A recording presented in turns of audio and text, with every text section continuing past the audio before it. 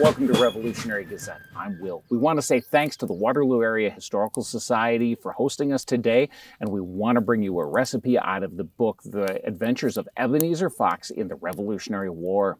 Now, in the fall of 1779, young Fox is a 16 year old lad in Boston. His family has many kids, so he's been apprenticed to a wig maker. That wig maker has a problem. He's been drafted into the American Army not wanting to go and not able to find a substitute, his young apprentice, eager for adventure, says, I'll go, and is allowed to. Young Fox, before going to the Navy later in his account, first joins Captain Bird's company of Colonel Proctor's regiment. That's all we have to go on, but it's enough. He's in the 4th Regiment of Artillery he talks about going from Boston uh, to Roxbury, Massachusetts. They pick up six ammunition wagons and escort them to Peekskill, New York, successfully. Well, unfortunately, along the way, the men have problems with rations. They're at the farm of a Quaker and they find many fowl one evening. They kill them, pluck them, and they mention boiling quickly. Those of us who know anything about cleaning chickens realize that they probably were scalding to make the plucking easier. They put them in their knapsacks and march until the next day, and let's listen to what happens after they get to camp the next night. We halted at a farmhouse, and having borrowed a large brass kettle, emptied the contents of the knapsacks into it, combining therewith a goodly quantity of onions, potatoes, and carrots, and soon converted the heterogeneous mass into what we called a chicken soup, which, though it might not have been very palatable to an epicure, was not to be despised by a company of hungry soldiers. Well, that's a great story, and that's what we're going to do today. We're lacking the brass kettle from the farm, so we'll use a mess kettle instead. The one thing that's going to be different here is we're going to use a modern breed of chicken and we're going to use modern vegetables. We could get closer if we could source heirloom breeds, but for today, let's get going. So my buddy Hayden and I are hungry for a meal we can tell one thing that they probably made a mistake for those who know how to make soups. Normally you would start the meat and the bones cooking to cook it down, start a stock, and then you'd add the vegetables. When Fox talks about the heterogeneous max, I think he totally goofed. He and his buddies were hungry. Everything went in the pot. That's what we're going to do. So we're going to go ahead, cut everything up, get it stewing for a few hours, and let's see what this meal tastes like. Um,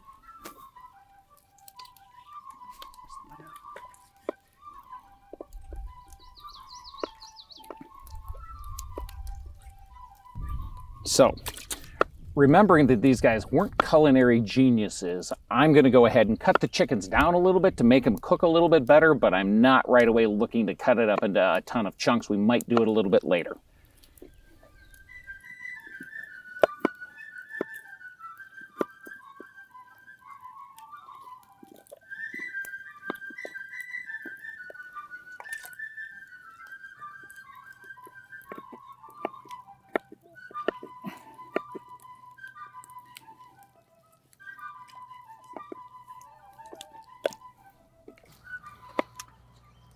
All right. Well, in the 21st century, I pride myself at being pretty good at cooking, and that's about the roughest I've ever taken apart a chicken, but I'm trying to keep in mind what it would be like for a young lad of 16 stuck away from home in an era when his mother and sisters do most of the cooking, so his skill set would not be that high.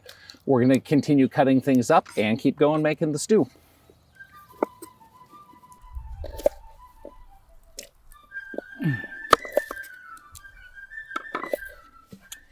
Okay, well, Fox talks about a goodly quantity of carrots, potatoes, and onions, and we have that. And we have one of the chickens that he wrote about carrying for a day on a march out of his knapsack. Let's put this on the fire and we'll let it start to boil.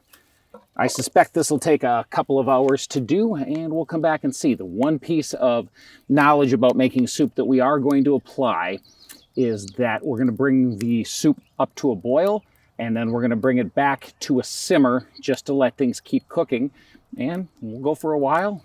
You'll see a little bit of it and we'll be back in a bit.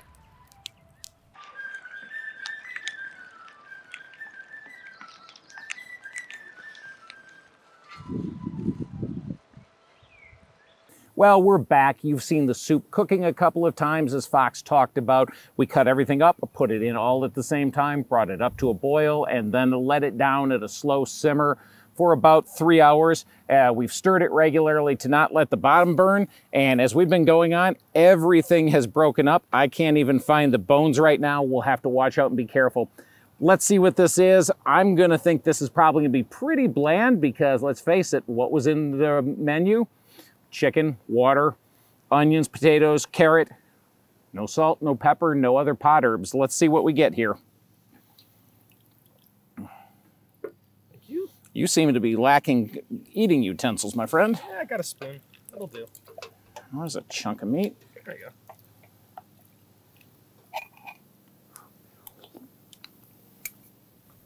Well, I tell you, the this is bland. Yeah.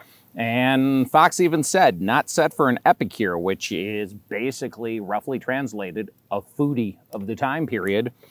But man, if I'm marching all day and I'm handed this compared to uh, dumplings or biscuits or something, or just flour, this will work just fine for a hungry soldier.